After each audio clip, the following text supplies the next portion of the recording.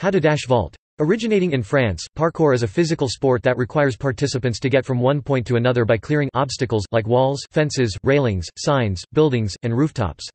There are a multitude of methods for getting through a course, like running, climbing, and swinging, but one of the most common is vaulting, where participants swing or jump over items in their path.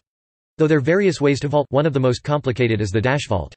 Performing a dash vault. Run towards the obstacle and start your jump. Approach the obstacle perpendicularly and straight on. Make sure you are also maintaining speed so you can clear the obstacle without any issue. The point of a dash vault is to skim over the top of an obstacle, rather than the up and over of other types of vaults. Your speed will depend on the depth or width of the obstacle you are vaulting over. For example, if it's a thin wall, you won't need as much speed. However, if it's a thicker surface, you will need to go faster to clear it. 1. Kick your legs forward when jumping over the obstacle. The trick is to bring one leg up first and then follow with the other quickly. This gives the illusion that both legs are coming up together. It's important here to take off with your dominant leg or the one you are more comfortable with.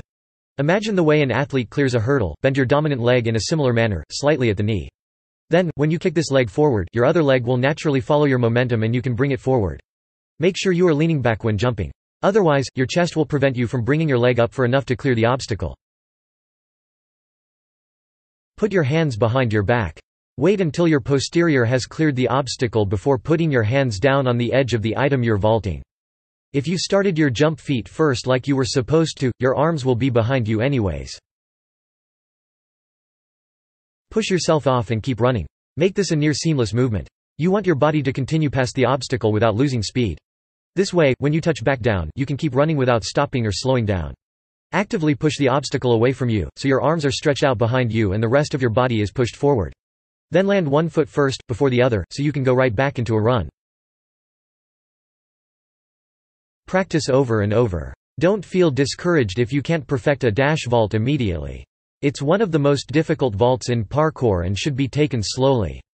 However, after you've done it repeatedly, it will become second nature.